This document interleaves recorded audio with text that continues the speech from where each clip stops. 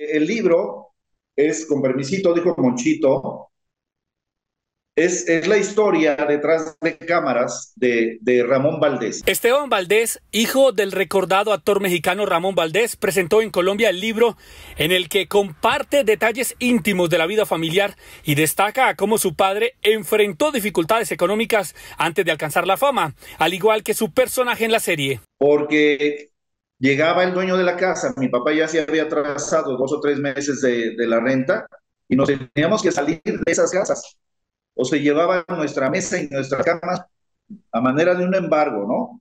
Esteban narra cómo fue vivir con un padre que no solo era una estrella en la pantalla, sino también un ser humano lleno de humor y creatividad en la vida diaria.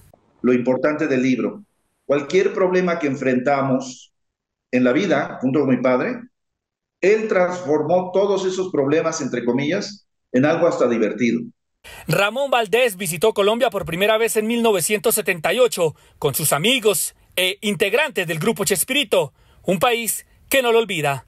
Era el personaje más divertido, básicamente para mí, eh, y como el que le daba todo el movimiento a la, a la vecindad. Eh, y pues sí, fue mi programa de, niñez, crecí con eso. 100 años estaría cumpliendo este 2 de septiembre el recordado don Ramón Valdés. Jair Díaz, Voz de América, Bogotá.